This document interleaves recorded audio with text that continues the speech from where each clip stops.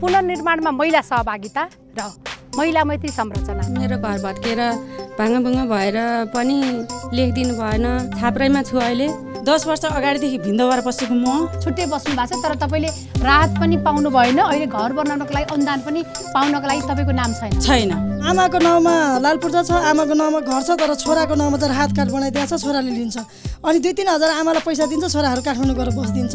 हामीले प्राधिकरणले निर्देशन गरे अनुसार कार्यहरू सहज ढङ्गले गर्नका लागि यही गाविसबाट अनुदान सम्झौताको सुरुवात गरेका छौँ। पुनर्निर्माण भनेको चाहिँ एउटा साझा अभियान हो र यो लैङ्गिक समानता र महिला सशक्तिकरणको विषय छ। यसलाई चाहिँ हामी गम्भीर रूपमा लिएर अगाडि बढ्छौँ। यसपालिको समकोण काभ्रे जिल्लाको रवि ओपी गाविसबाट। शुक्रबार बेलुकी नौ बजी।